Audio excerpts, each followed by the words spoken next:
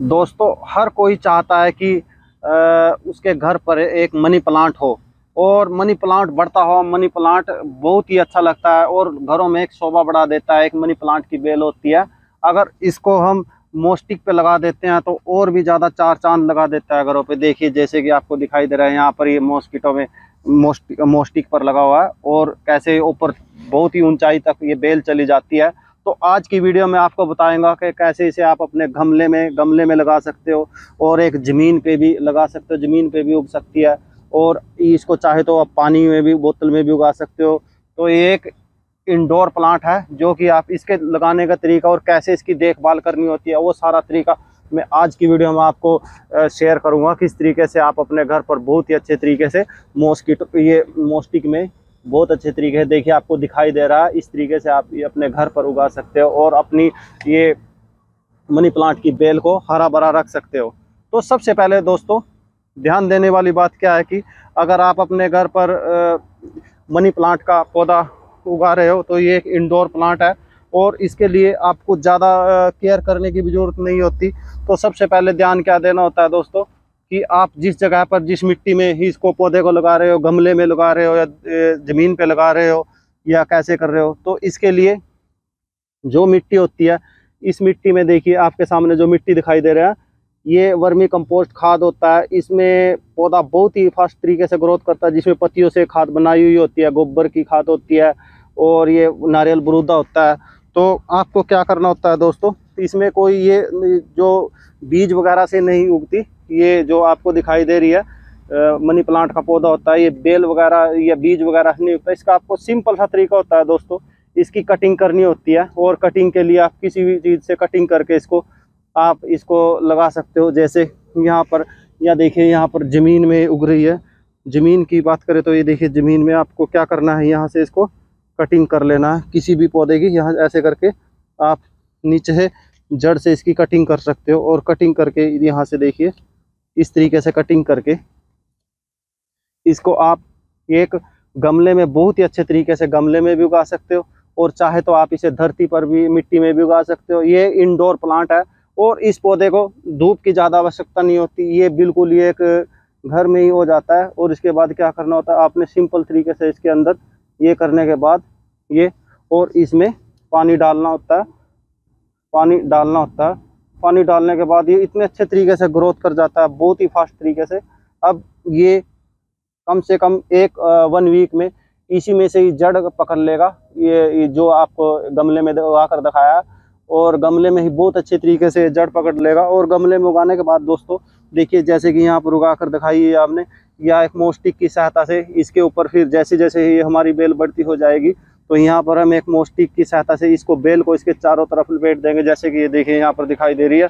और इस तरीके से जैसे जैसे बेल बढ़ती जाती है तो इसे रस्सी की सहायता से यहाँ पर बाँध दिया जाता है और ऐसे ऐसे करके काफ़ी बहुत ज़्यादा लंबी हो जाती है और बहुत ही ज़्यादा सुंदर लगती है घरों में हर कोई चाहता है कि उसके घर पर ये एक मनी प्लांट की बेल हो और हरी भरी बेल हो, लगाने को हर कोई लगा सकता है, पर केयर करना बहुत थोड़ा ध्यान देना होता है इसमें। तो सबसे बात ज़रूरी है कि दोस्तों, ये एक इंडोर प्लांट है और इसमें पानी की ज़रूरत नमी हर हर समय नमी पानी, पौधे मिट्टी में नमी होनी चाहिए, जिससे कि पौधा, अगर इसको सूर्य की किरण बिल्कुल पसंद नहीं है, अगर सूर्य की किरण इस पर पड़ेगी, क्या हो जाता है, ये पीले रंग के पत्ते हो जाता है तो इसलिए आप इसे, अगर आपका होम गार्डन है या रूफ गार्डन है, अगर आपने इस तरह का सेट बनाया या नेट वगैरह का इस्तेमाल करते हो तो उसमें भी ये बहुत अच्छे तरीके से ग्रोथ कर पाता है।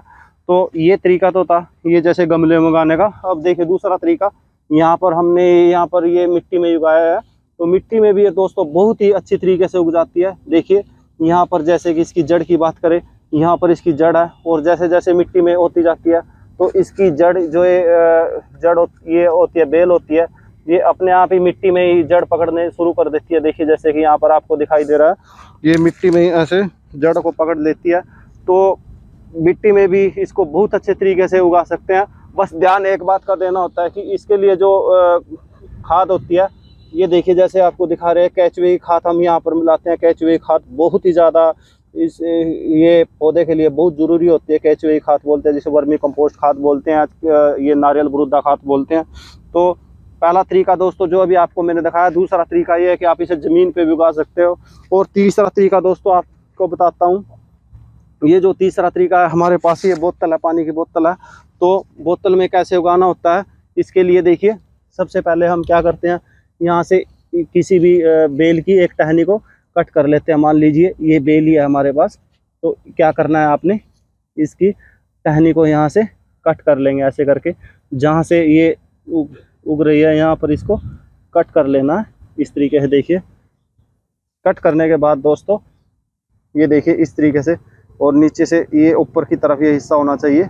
तो आपने क्या करना है इसके अंदर इसमें ऐसे करके इसे, ये ध्यान देने वाली बात ही है दोस्तों कि जो निचला सिरा है, ये इसका पानी में डूबा होना चाहिए और 10-15 दिन के अंदर ये इसके अंदर से रूप्स निकलनी चालू हो जाएँगी और ये पौधा हरा भरा दिखाई देगा। बिल्कुल आप इसे अपने घर पर ड्राइंग रूम में, कहीं भी ऐसी जगह पर रख सकते हो छाँव में। ये इंडोर प्लांट है और बहुत ही अच्छी तरीके से ग्रोथ कर पाता है और ये वन वीक में एक बार पानी बदलना इसका ज़रूरी होता है। ऐसा इसलिए होता है कि ताज़ा पानी में बहुत ही फास्ट तरीके से ग्रोथ करेगा। बस धूप में नहीं रखना होता और यही इसका केयर करनी होती है। अगर जैसे जैसे प्लांट बड़ा हो जाता है तो जैसे वैसे वैसे आप इसको मोस्टिक पर, ये मोस्टिक पर ये बहुत ही सुंदर दिखाई देता है। मनी प्लांट बेल होती है। बस इसमें हर पंद्रह दिन के बाद आपको क्या करना है, इसकी खुरपी वगैरह से निराई गुड़ाई करके और इसमें थोड़ा खाद होता है, जो वर्मी कंपोस्ट खाद अभी आपको हमने दिखाया है, वो खाद डालना होता है, वो आपको मार्केट से मिल जाएगा। इससे क्या होगा कि हमारा पौधा हरा भरा रहेगा। और अगर आपने गमले में उगाया तो सबसे बात चीज़ ये है कि इसकी जो नमी है मिट्टी, ये हमेशा नमी होनी चाहिए, ये गिल्ली होनी चाहिए। अगर ये सूखा होने पर ये बिल्कुल ही हमारी बेल पत्ते पीले पड़ जाएँगे और ये ग्रोथ भी नहीं कर पाएगा इतना फास्ट तरीके से। तो सबसे बढ़िया तरीका दोस्तों ये है कि मैंने आपको तीन तरीके शेयर किए हैं। इन तीनों तरीके से आप ध्यान देना ही है कि इसको रोशनी में सूरज की किरणों से बचा कर रखें और पानी, ज़्यादा से ज़्यादा पानी की इसको आवश्यकता होती है। पानी इसका मूल धार है।